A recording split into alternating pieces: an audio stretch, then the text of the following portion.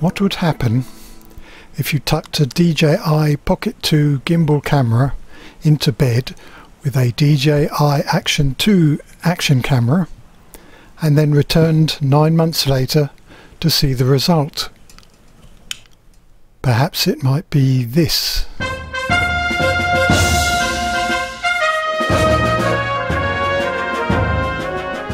This patent application by DJI is for a pan tilt camera comprising a handle part, a first shaft assembly, a second shaft assembly, a third shaft assembly and a camera.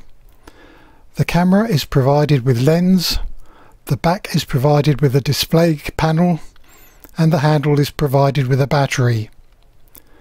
The application continues to describe the motors and how the device can be folded when not in use. So here comes some guesswork, but my guesses are pretty logical, I think.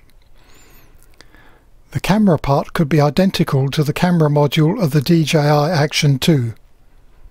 It could therefore, therefore be mounted onto the gimbal part using the same magnetic system used to connect the Action 2 camera to the screen or battery modules.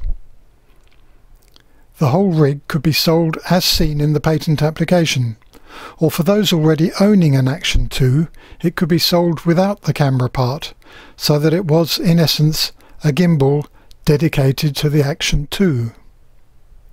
The battery in the gimbal handle could supply the camera as well as the gimbal motors. The handle could also have mics and a card slot built in so that in essence it would provide everything that the Action 2 screen module supplies with the addition of a gimbal mechanism. But it could go further. The camera module might be interchangeable with other modules rather like the Insta360 devices. This could mean that a 1-inch sensor module might be an option. That's what everyone is asking for. Why have two screens?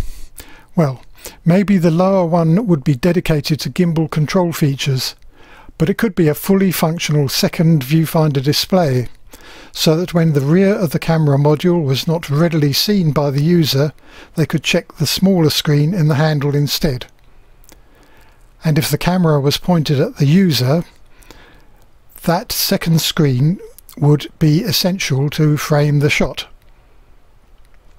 Lastly, why add a gimbal to the Action 2 whose electronic Im image stabilization is pretty good anyway? Well, it's fine until the light is low and then, like all EIS systems, it struggles because it needs a fast shutter speed to function.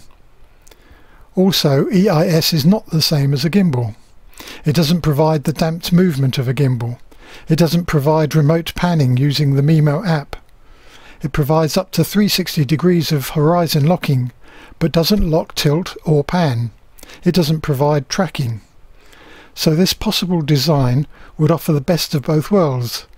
A gimbal camera with a detachable action camera for occasions when a gimbal's delicate mechanism and larger size doesn't suit the task in hand.